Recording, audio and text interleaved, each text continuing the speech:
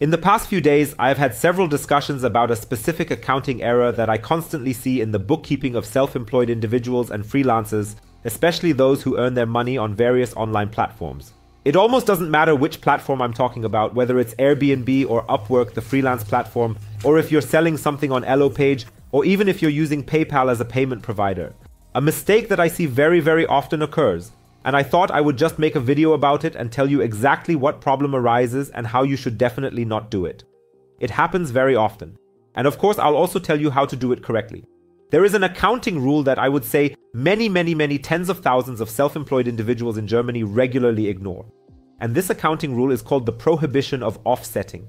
For example, if you use PayPal and you invoice your client for $100, you don't actually receive $100 from PayPal. Instead, the client transfers the money to you via PayPal and you get the money paid out to you. However, this is after deducting the fees.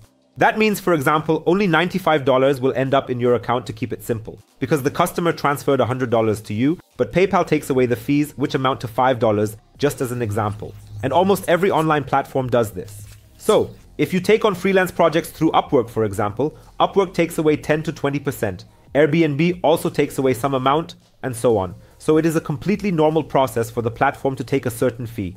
What would be wrong in this scenario is if you simply recorded the net amount, meaning the amount after the fees, as revenue, which is 95. That is incorrect. The correct way would be to record the total invoice amount of 100 and then record the 5 fees or however much they are as expenses. Then you have 100 in revenue minus 5 in costs resulting in 95 for this transaction. However, it is absolutely crucial that you separate these, and this is for two reasons. The first reason is the calculation of value added tax because you pay the tax on the 100 and not just on the 95. And we are happy to take a closer look at that. If you receive 100 gross, the value added tax amount from that is 15.97.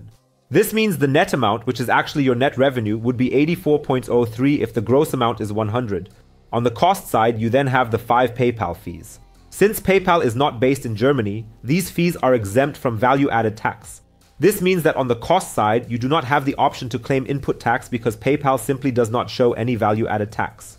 If you were to record only the amount that is paid out to you, which is $95, instead of the total revenue in your accounting, the calculation of value added tax would also change. Then you calculate with a gross amount of 95, subtract the 19% value added tax, which amounts to 1517. This means in the end you have less value added tax, specifically 080. That doesn't sound like a lot at first, but your invoices will usually be higher than $100.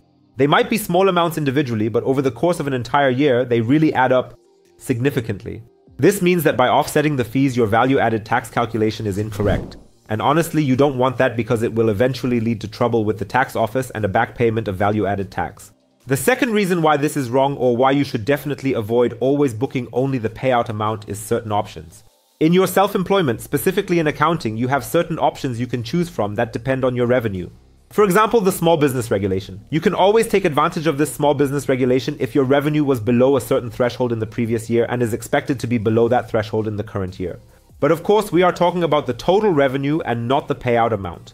That means the $100 should be taken as the basis and not just the $95.